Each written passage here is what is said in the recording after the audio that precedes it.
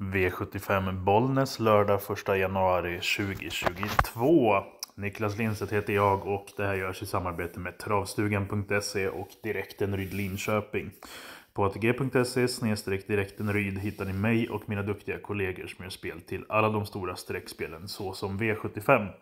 Först och främst så vill jag passa på att önska ett gott nytt år till eh, alla er som följer mig på den här kanalen. Och eh, jag tänkte bjuda på lite snabba tankar inför lördagens eh, V75 ifrån Bollnäs då. Det är en ordinarie omgång så inga konstigheter. Vi börjar direkt med ett voltstartslopp över medeldistans här i klass 1-försök. Eh, avdelning 1 och eh, då tycker jag att det låter jättespännande på 6 Astrum. En eh, finsk gäst, eh, Anteri Vetteleinen, var med i podden V75 lördag hela veckan. Han eh, har varit eh, skötare i Sverige tidigare vill jag minnas att det var under ett par år och vet vad som krävs. Han gör resan över från Finland och eh, hästen stoltserar med tre raka segrar och har gjort det väldigt bra. Mika Fors från springspåret här tycker jag är spännande och till 20% tycker jag att det skulle kunna vara en bra chansspik. Eh, för det låter väldigt bra, hästen har sett väldigt bra ut. Sen är det ju alltid som så när det kommer hästar från utlandet, svårt att sätta sig in och eh, en viss måtta utav köpa grisen i säcken är det ju, men hästen är absolut inte sönderspelad här till 20% så att det är min första häst och tänkbara spikförslag. Väljer man att gardera så tycker jag i första hand att man garderar med 9 No Doubt och därefter eh, tycker jag att 10 Madame av Djupmyra är spännande. Ska man ha ytterligare någon häst så är det nog eh, framförallt 3 Albert Kronos, eh, kanske 4 Ossis Melody men eh, jag tror att man inte behöver så många hästar i avdelning 1. Avdelning 2, då har vi kallblodsdivisionen, voltstartslopp över medeldistans och eh, jag tror att vi hittar vinnaren här på 20 meters tillägg.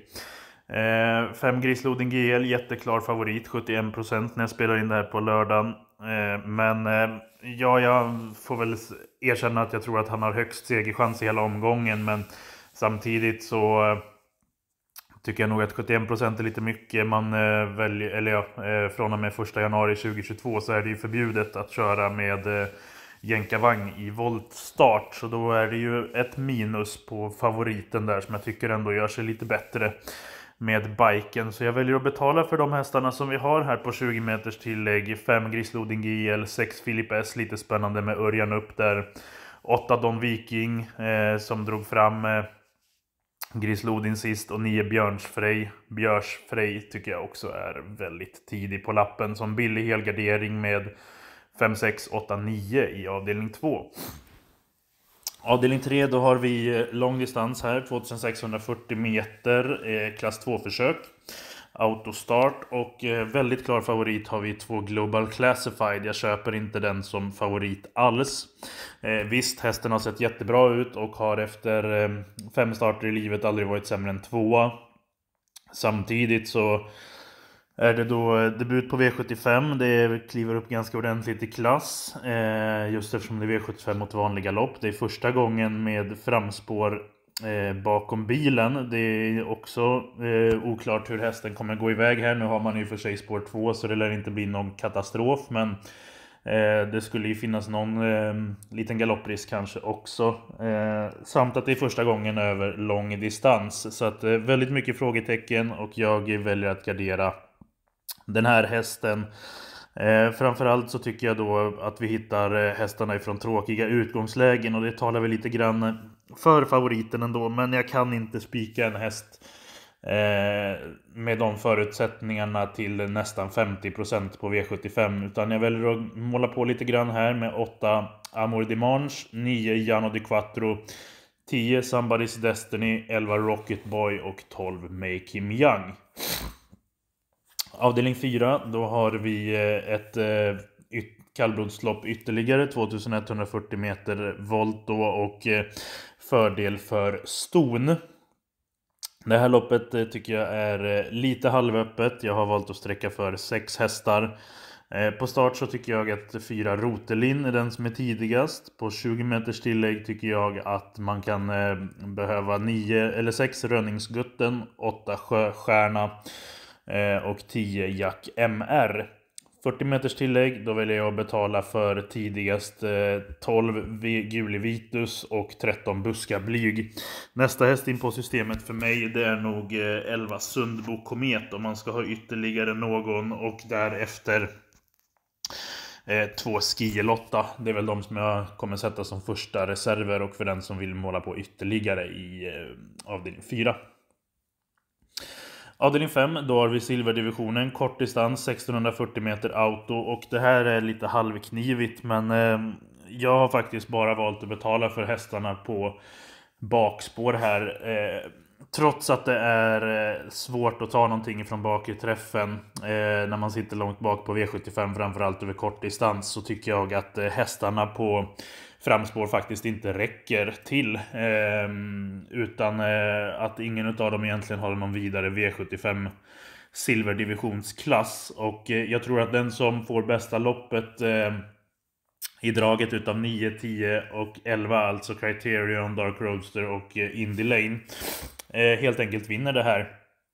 Ehm, så den som lyckas knuffa ut och få draghjälp hela vägen tror jag eh, vinner detta och någon då på bakspår utav dem 9, 10 och 11. Eh, jag har väldigt svårt att se någon utav de andra räcka men ska jag säga någon som skulle kunna vara småaktuell eh, om man vill sträcka vidare då är det väl ändå två Fortune, Fortune Meras. Eh, men eh, jag tror man kommer jättelångt på 9, 10 och 11 och första rankad för mig är faktiskt 10 Dark Roadster som gick jättebra utvändigt ledaren på V75 senast, en 12,6 och det räcker ganska så långt den här årstiden. Så vill man ha en chanspik i avdelning 5 då är det 10 Dark Roadster. Avdelning 6, då har vi ett diamantstoförsök och eh, det här tycker jag är lite halvskiktat lopp faktiskt. Eh, I vanliga fall brukar jag säga att det här är jättesvårt men eh, jag tycker ändå att man kommer ganska så långt på en 4-5, kanske 6 hästar.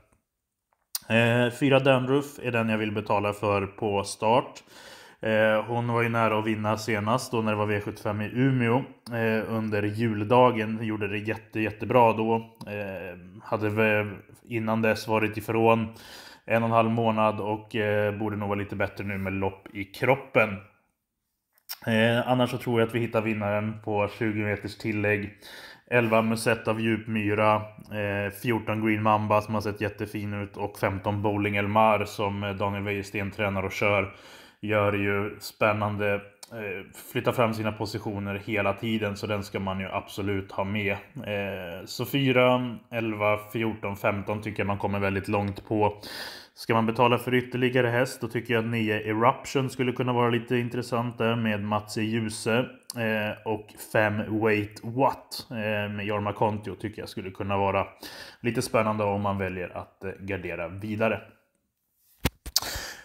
Avslutande loppet, då har vi eh, eh autostart 2140 meter och eh, det här är då bronsdivisionen.